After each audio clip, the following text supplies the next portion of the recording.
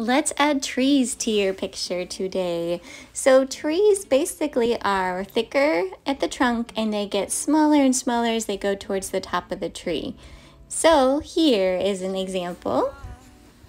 You could also make something called a Y tree. See how there's a Y at the, the base of it? And then just tiny little Ys branch off of it. And the more Ys you have, the more realistic it becomes.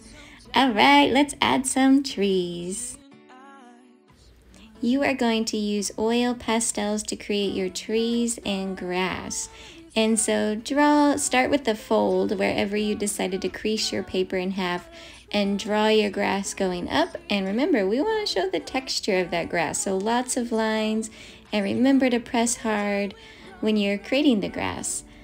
And when you're ready, let's do some trees. So remember, we're having it thicker at the bottom and they're branching out skinnier as it goes up towards the top.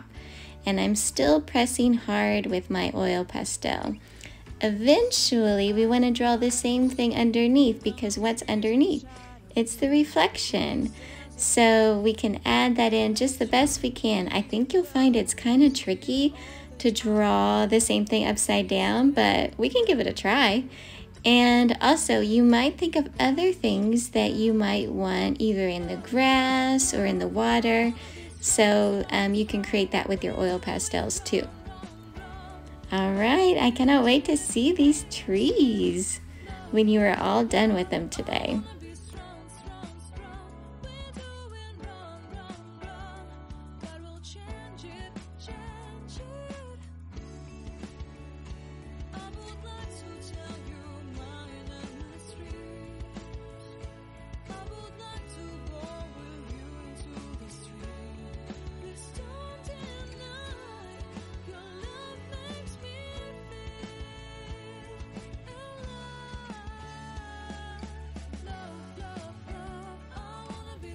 Since we're doing a reflection, I think it would help to have some wavy blue lines to show the water. And you can draw just right across those trees. Those wavy lines can kind of break up the reflection a little bit. And still remember to press hard with your oil pastel when you're creating the lines.